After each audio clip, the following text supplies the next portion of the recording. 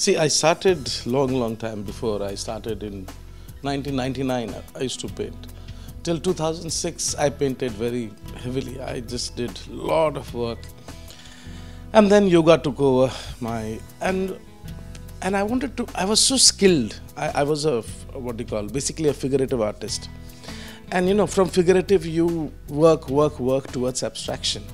So I gave a break of 15 years. I didn't paint but I practiced and I practiced, you know, went on to deep study because, you know, painting is not something you can just do like that. There is so much of aspect of painting like composition, colors, textures, light. There's so many things into it. And get when everything gets together, then only the painting looks very pretty and nice. And it looks very beautiful and meaningful. So I generally paint nature most of the time I paint is nature because there's nothing as pretty as nature. You know, uh, when you do abstraction of nature, so basically uh, most of my work, you see, this is a flower. You know, this is abstraction of a flower. But as an abstract artist, you you don't look at white flower, green flower. You abstract the colors. You remove the fundamentals of the object, and more and more fundamentals you remove, slowly, slowly the abstraction. So if this is a hand and you are doing an abstraction of the hand, you can make any color of the hand, but hand should look like a hand.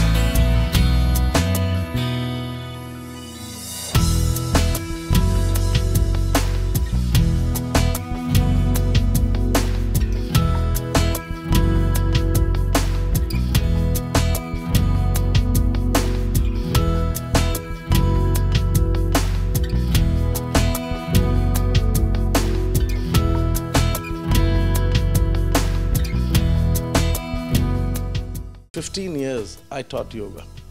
For 20 years I promoted, taught yoga, opened school all over the world. And then I always wanted to paint. Then I said, okay, now for two, three, four years I'm going to paint.